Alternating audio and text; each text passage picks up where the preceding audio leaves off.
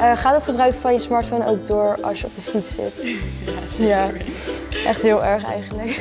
Gewoon eigenlijk de hele dag. Vooral volwassen mensen, denk ik, die bellen ook op de fiets, maar dat doe ik ook gewoon niet. Het is wel heel gevaarlijk om dat te doen, omdat met één hand kan je niet echt goed fietsen en zo. Er was ook een verhaal die we hadden gehoord bij verkeer. Dat was over een jongen. Tommy Boy. Ja, Tommy Boy. Ja. Maar toen werd hij aangereden en is doodgegaan. Dat is echt heel heftig. Je verveelt je dan ook gewoon op je fiets en dan ga je maar gewoon met mensen praten via Snapchat of even Instagram kijken. Het is gewoon Foto's sturen, oom B. Zie je ouders wel eens in de auto even? Ik wel. Mijn moeder zei altijd tegen mij of mijn vader, je moet het goede voorbeeld geven aan, mijn broer, aan je broertje, maar dan doen ze het zelf ook niet. Nee, dat is altijd met ouders.